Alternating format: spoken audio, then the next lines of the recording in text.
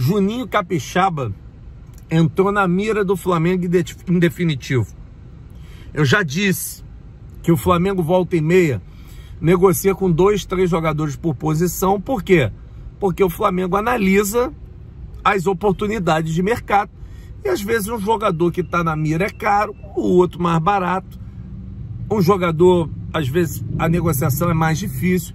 Então, tudo isso acaba é, interferindo diretamente nesse cenário rubro-negro. Mas o que eu posso falar para vocês é que o Juninho Capixaba, de 26 anos, um jogador muito elogiado até pelo Felipe Luiz, tá aí na alça de mira do Flamengo, ele que tem contato com o Red Bull até 2026, jogou no Grêmio, jogou no Corinthians, enfim, um jogador que é experiente, apesar de 26 anos rodado, jogou em bastante clubes, então fica no ar. Eu ainda acho que o Alexandre é disparado o melhor nome.